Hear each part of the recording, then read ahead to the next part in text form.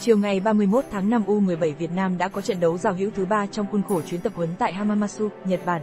Đối thủ lần này là đội trường đại học Tokoha, đội bóng được đánh giá khá cao về chất lượng và già dặn hơn U17 Việt Nam. Nhằm tiếp tục đánh giá, thử nghiệm đội hình và lối chơi, ban huấn luyện U17 Việt Nam thống nhất với đội bạn tổ chức trận đấu làm 3 hiệp, mỗi hiệp 40 phút. Ở hiệp đấu đầu tiên, huấn luyện viên Hoàng Anh Tuấn đã đưa vào sân những nhân tố đang có sự thể hiện tốt trong thời gian tập huấn vừa qua. Với đội hình này, U17 Việt Nam chơi lấn lướt trước đội bạn và ghi được 3 bàn thắng. Trong đó Công Phương là người mở tỷ số và Vi Đình Thượng là cầu thủ lập cú đúp.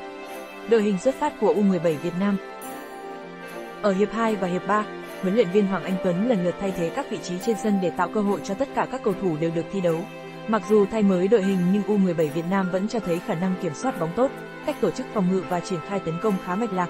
Tuy nhiên, khi trận đấu trôi về những phút cuối trận, các cầu thủ U17 Việt Nam đã không duy trì sự tập trung cần thiết và phải trả giá bằng 3 bàn thua liên tiếp.